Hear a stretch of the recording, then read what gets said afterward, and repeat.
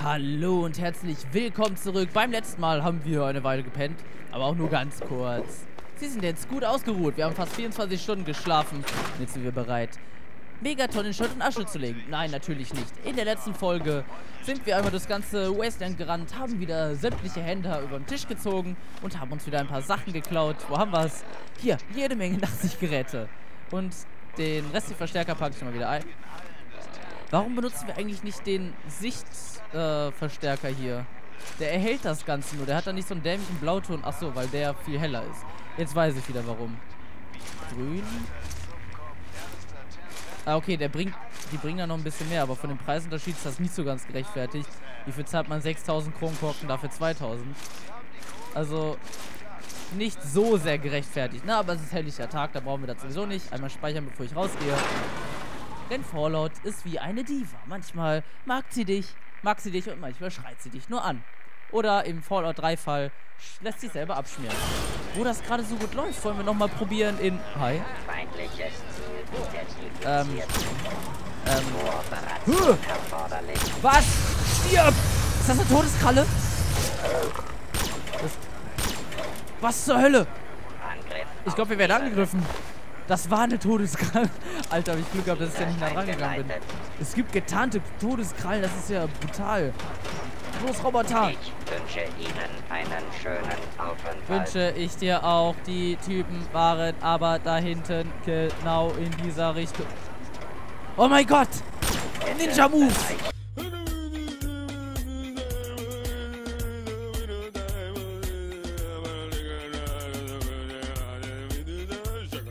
Ninja Moves! Alter, das könnte unser Tod bedeuten. Riesige Red Skorpione und sie haben Ninja Moves drauf. Brennen! Heute gibt's Red Skorpione, die keiner essen will. Und ich darf den nicht anfackeln. Das wäre fatal, denn dann greift er uns an. Oh, da ist die letzte. Ich hoffe, dass diese alten Viecher nicht mehr ausgehen. Ist das das letzte? Ja. Sie sind tot. Du das, Mister, Mister, hören Sie bitte auf. Willkommen in ja, Megaton. Ja, willkommen in Megaton. Redest du etwa mit den Leichen? Oder mit wem redest du? Ich nehme einfach mal alles von denen mit. Kann ja nicht schaden. Dann gehen wir nochmal in unser Versteck. Denn in unserem Versteck, was ist denn das? Okay, junger Schattenjäger, noch so ein Vieh. Können wir uns noch ein paar neue Waffen einpacken, wenn wir in den Supermarkt gehen. Ja, dann viel Spaß. Äh, warum sitzt der wieder da? Da portet sich einer durch die Gegend, hä? Da portet sich einer durch die Gegend. So, dann gehen wir mal hier wieder drauf und packen unsere Sammelmittel ein. Baseballhandschuhe bin ich mir... Ach, da habe ich jetzt gar nicht nachgeguckt, verdammt. Dann war die Hämmer, die Kameras, Metalllöffel, Pümpel, Schachbrett, Tassen, Trinkgläser und Wunderkleber. Super. Und dann gehen wir wieder raus. Haben wir irgendwas, was wir weglegen könnten oder so? Guck mal, und da kommen wir jetzt in den... Alter, Waffen. wir haben uns jetzt total viele Munition ge geklaut. Gekauft. So ist das. Ausnahmsweise haben wir uns mal was gekauft. Ah, ist das nicht wundervoll. Jetzt fällt mir gerade was auf. Guck mal, wir haben für unser Jagdgewehr haben wir einen Wert von 25 Kronkorken, wo wir mit unseren Handelsfähigkeiten wahrscheinlich 12 rausschlagen könnten. Mein Gott, sind wir gut. Und Moira will uns das Ding für 28 Kronkorken andrehen. Wer ist jetzt der Idiot? Sie anscheinend nicht mehr, sondern ich. Weil ich diesen Rotz kaufe. Also eigentlich habe ich diesen Rotz auch nie gekauft. Und so rotzig ist es auch gar nicht. Äh, mal gucken. Das Schrotgewehr hat es nicht so ganz gebracht. Wir hatten noch hier noch ein anderes Schrotgewehr. Genau, dafür habe ich sogar was gekauft. Finde ich sehr gut. Das müssten wir nur dann nach einmal reparieren. Denn das sieht nicht gerade sehr gut aus. 10 mm Pistole SD. Alter, ich liebe unseren Waffenschrank hier. Da ist einfach so viel drin. Äh, Minigun Gatling Okay, dafür haben wir eine ganze Menge. 5,5, der braucht auch nochmal andere Munition. Alles braucht eine andere Munition, Mann. Der macht 66 Schaden und unsere 136. Okay, dann ist klar, welche wir nehmen. Das Ding ist ein bisschen kaputt. Da hatten wir doch... Oh, Alter, das hat aber auch eine ganze Menge. Wenn wir gerade mal beide... Da, das war die falsche. Können wir aber auch beide aus dem Schrank nehmen. Dann können wir die mal zusammen reparieren, damit wir ein bisschen mehr Platz in unserem Schränkchen kriegen. Eventuell sollte ich meinen Umhang anziehen. Meinen Umhang, meinen magischen Umhang. Äh, um besser reparieren zu können. Das machen wir doch gerade mal, damit unsere Sachen dann auch nach danach nochmal besser aussehen. So, verkleiden wir uns mal wie unser als Vault-Kid Kind. So. Oh, sogar mit hochgezogenen Ärmeln. Oh, du bist ja super. Ich sehe wirklich aus wie ein Mechaniker. Wie ein Depp-Mechaniker. Natürlich wie ein Depp-Mechaniker. Ich kann gar nicht aussehen wie ein normaler. Hat's ja, das ist doch ganz gut. Dann packen wir die mal wieder in den Schrank. Waffen bitte. Boah, Alter. Ich hoffe, ich werde wirklich irgendwann mal wieder gesund. Das ist ja unglaublich. Oh, das macht fast elf Schaden mehr, nachdem wir das repariert haben. Äh, die wollten wir behalten. Ich werde auch erstmal genug Munition. Haben wir hier noch? Ich repariere jetzt einfach mal alle Sachen, die wir mehrmals haben. Und die zu reparieren sind. Die beiden könnten wir noch reparieren. Die hier nicht. Haben wir davon noch? Ne, haben wir keine kaputte Version davon. Die beiden könnte man auch noch reparieren. Die hier nicht. Wir könnten auch mal ein paar Waffen verscheuern, ne? Wir haben hier so viel.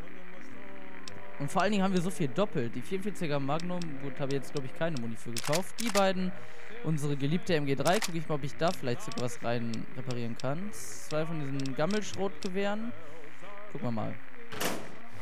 So, wird repariert. Kann ich da die anderen MGs rein reparieren? Nein, leider nicht. Dann das einmal. Macht doch direkt mehr Schaden. Aber das Ding ist trotzdem besser. Also das ist eine MG3. Eine deutsche Waffe. Da muss man doch äh, fröhlich sein. Moment, da haben wir hier 28 Schaden, wenn wir die rein reparieren. Haben wir... Oh, das wollte ich gar nicht machen. Haben wir... Ja gut, zwei Schaden mehr. Das hat es richtig gebracht. Alter, wie viele Sachen für leichte Waffen wir jetzt haben. Die beiden können wir auch zusammen reparieren. Da würde das drei Schaden mehr machen. Okay. Haben wir sonst noch irgendwas, was wir jetzt hier extra eingepackt haben dafür? Ich, ich sehe nichts. Ich sehe nichts mehr. Ich bin blind. Oh mein Gott, ich sehe nichts mehr. So das war nicht gemeint. Dann packen wir das Zeug da mal wieder rein. Denn, Alter, meine Nase juckt. Das ist ja ekelig. Ich hasse es, krank zu sein. Oder erkältet zu sein, das reicht mir schon. Die M60 hat auch nicht wirklich sehr viel Munition. Und die wiegt sehr viel. Die packen wir mal weg. Wir müssen wirklich mal ein bisschen aufräumen. So viel dabei. Ähm, Endolaser brauchen wir auf jeden Fall. Wie immer. Das Lasergewehr, ja gut, wenn wir da mal mehr drauf skillen würden, wäre das auch richtig nützlich. Denn das macht nur 24 Schaden. Ich glaube, wir könnten es erstmal weglegen. Wir haben zum Beispiel das Ding hier, das macht mehr Schaden. Legen wir es erstmal in den Schrank. Aber wir legen es in eine andere Kiste. Haben wir hier... Ja, da haben wir Spezialwaffen. Wir den eventuell... Ne, können wir noch nicht gebrauchen. Den Raketenwerfer Hellfire. Haben wir noch einen Raketenwerfer? Ne, den haben wir... Haben wir den verkauft? Doch, da ist er. Der Raketenwerfer. Hätten wir lieber die Raketen sparen können, das Ding nehmen können. Das macht nämlich dreimal so viel Schaden. Hey, unsere Gewichte geht auch wieder ordentlich runter. Wenn man so eine Bazooka reinlegt, ist natürlich klar, dass das passiert. Haben wir irgendeinen Schrank, wo wir... Ne, das ist Verkaufszeug. Was haben wir denn da alles? Oh. Tja. Da hatten wir noch Sachen zu verkaufen. Das ist natürlich super. Haben wir irgendwo einen Schrank übrig, wo wir einfach mal Sachen reintun können, die wir oft benutzen? Ich würde mal nicht behaupten, dass da Waffen reinpassen. Vielleicht einfach hier in den Schrank. Legen wir einfach hier in die Kleidungsschrank. Dann wissen wir wenigstens, da sind die Sachen. Und da gehören die hin. Äh, was wollte ich denn da jetzt reintun? Ah ja, genau, das Lasergewehr. Äh, die Walter würde ich total gerne reparieren, aber wir haben keins mit einem Zielfernrohr. Äh, realistisch wäre es jetzt, wenn wir das alte da auch reintun könnten. Könnten wir ein paar von den Sachen loswerden, zum Beispiel die Impulsmine. Äh, die Plasmamine auch einfach mal. Die ganz fetten Splitterminen spannen wir uns mal auf. Haben wir die hier noch. Splittergranaten. Ich will jetzt auch nicht zu viel weglegen. Davon haben wir auch noch eine ganze Menge. Plasmagranaten. Ich auch mal weg. Und die können wir noch behalten, die einzelne. Dann wird unsere Inventarliste auch ein wenig kleiner. Die Walter könnte ich... Obwohl, die Walter ist eigentlich eher zweitrangig. Gut, die kann ich jetzt auch wieder hier mit reintun. Denn die benutzen wir ja nicht jedes Mal. Schöne Sortierfolge, ne? So, die ACP Luga, die wollten wir auch nicht unbedingt verwenden. Die 10 mm verwenden wir sowieso nie. Die manchmal. Wenn Gegner hinter uns herlaufen oder sowas. Da haben wir mittlerweile eigentlich fast genug. Ach, komm, die behalten wir. Die drei, drei Kilogramm hier, die wir mit uns rumschleppen. Brauchen wir die wirklich ganz dringend? Na, auch nicht unbedingt. Ich will nämlich jetzt wirklich mal richtig viel Platz rausholen. Das Ding brauchen wir auch nicht, denn wir haben ja hier unsere STG 44 Trennmesser. Äh, Hat sich das als würdig erwiesen? Als würdig? Bist du würdig? Nö. Äh, brauchen wir... Naja, wir haben die Gatling, dann können wir die Arcade auch reinlegen. Es geht aber beachtlich runter. Da freut man sich doch direkt. Der Endolaser wiegt 10 und das Ding, Alter, ist kein Wunder. Wir haben allein mit den Teilen, haben wir schon 40 Kilogramm mit den drei Waffen. Dann haben wir noch das Teil dabei. Da, auch da könnten wir jetzt tatsächlich mal hier den hier rein reparieren. Denn ansonsten geht das Ding irgendwann schmieren. Ähm, welchen habe ich ausgerüstet? Achso, der, der im Schrank liegt, bringt sogar noch mehr. So, rein reparieren. Das ist doch schön. Wieder unsere alte Kleidung anlegen. Wie viel wiegen die? Auch nur eins. Könnten wir rein theoretisch mitnehmen.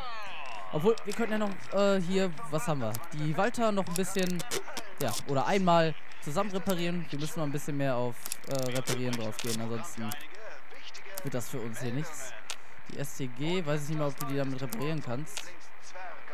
So, dann können wir jetzt... Achso, ich hätte hier irgendwas auf den Boden gelegt. Äh, Reparaturteile Waffen. Dann spacken wir mal. Ja, ich habe Spacken gesagt. Ich meine auch Spacken. Davon ein paar Sachen da rein. Davon einfach auch ein paar Sachen. Werden wir schon, werden wir schon finden. Auch wenn wir das in das Falsche reingetan haben. So, das reicht eigentlich, oder? Dann gehen wir doch mal in den Supermarkt rein. Ab in den Supermarkt. Da unten ist noch alles am Brennen, ey. Ich könnte die Waffen auch nochmal auf die neuen Slots drauf tun. Da haben wir die Walter. Gut, die brauchen wir eigentlich nicht auf dem Quick-Slot. Quick-Slot, keine Ahnung. Machen wir mal die Minigun auf 2. 3 haben wir unser Jagdgewehr, das ist gut. Auf 4 einfach mal den Endolaser. Äh, ne, machen wir auf 4 die STG. 44. Dann haben wir auf 5 den Endolaser. Auf 6 die Walter und auf 7 das Trennmesser und auf 8 einfach mal die meisten Granaten. Also die Granaten, die die meiste Munition hat. Und ich habe den Flammenwerfer vergessen. Soll ich den Flammenwerfer da noch mit rein tun? Tu hier anstatt der Pistole. Wo habe ich die Pistole hingetan? Da habe ich ihn getan. Dann machen wir den Flammenwerfer auf 6. So, die Pistole werden wir, glaube ich, nicht allzu oft brauchen. Die ist zwar ganz gut, um, sagen wir mal, teurere Munition zu sparen, aber naja, ansonsten würden wir damit nur sterben und ich sollte meine Schleichrüstung anlegen. Dadurch sind wir deutlich besser und machen mehr Schaden. Nee, halt mehr Schaden aus. So rum war das. Oh, oh shit. Was kommt denn da schon wieder? Wo denn? Mein Gott, wo denn? Ah, da. Oh, ist das ein brennendes Ding? Nee, das brennt nicht. Dann können wir doch hier ein bisschen drauf pfeffern, wenn wir den überhaupt treffen. Ich weiß es nicht bei den Ameisen. Ich darf nicht zu weit nach hinten rennen. Hops. Oh. oh. Was geht da unten? Da kämpfen sie. Oh. Geht's dir nicht gut? Oh nein. Lauf doch nicht weg. Hast du Angst? Ich treffe den gar nicht. Ich habe eine Idee. Was haben wir hier? Haben wir das Ding? Komm her, mein Freund. Ich gehe auch ganz nett mit dir um. Denn damit treffen wir wenigstens. Au. Das war natürlich sehr schlau. Alter, ich hasse diese Hitboxen davon. Moment, auf 6. Stehst du auf Grillen? Ich nämlich schon. Nur nicht auf gegrillte Ameisen. Ich treffe den nicht mal damit. Guckt euch das an. Womit soll ich ihn denn sonst angreifen? Könntest du mir das bitte sagen? Womit? Ah, mit dem Endolaser. Blazer. Das war natürlich wieder klar. Gedacht. Das ging daneben. Obwohl, nein, das hat eigentlich getroffen, sonst wäre hier keine Zeitlupe. Du triffst den einfach nicht. Aha.